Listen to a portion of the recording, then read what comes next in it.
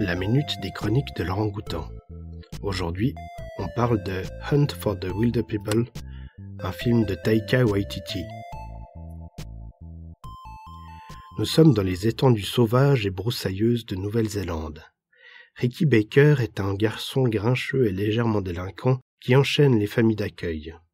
Il est emmené par les services sociaux dans une nouvelle famille, un couple vivant dans une ferme au milieu de nulle part, Bella et Heck.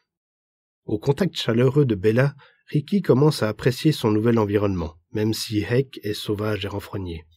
Mais à la suite d'un événement tragique, les services sociaux veulent le récupérer pour le placer ailleurs. Ricky va alors s'enfuir dans la forêt, armé d'un fusil et accompagné de son chien. Il va vite être rejoint par Heck, et tous les deux vont entamer un long périple dans le bush pour échapper aux autorités.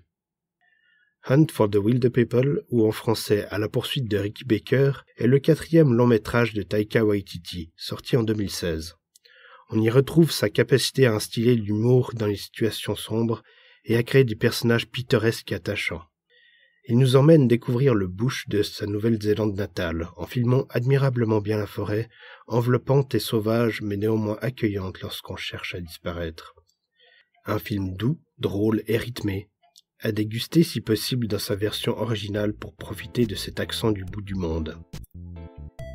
Les Chroniques de Laurent Goutan sont un podcast des bibliothèques de la ville de Lausanne. La chronique du jour vous est proposée par Jérémy.